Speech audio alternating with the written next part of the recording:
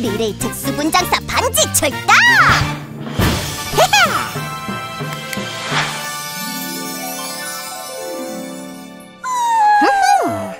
좋아. 반지랑 냠냠이가 예쁘게 꾸며주면 고백은 연애학 박사나 변응심이 도와주지. 고마워. 일단 피부에 생기가 없으니 먼저 베이스를 골고루 이 비비크림으로 피부톤을 정리하고 눈이 커 보이게 아이라인. 그리고 마스카라. 샤샤. 핑크 핑크 볼터치에 비장의 무기 딸기 립글로스를 부드럽게 펴바르면 완성! 근데 왜 반쪽만 화장한 거야?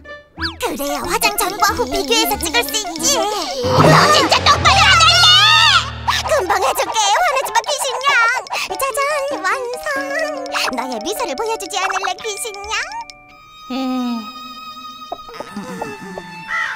직도 뭔가 무섭다. 아 미안 미안! 아직 끝난 게 아니야!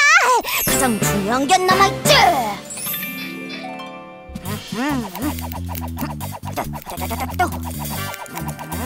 우와!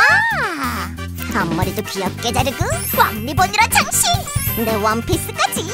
그리고 마지막 비밀 변기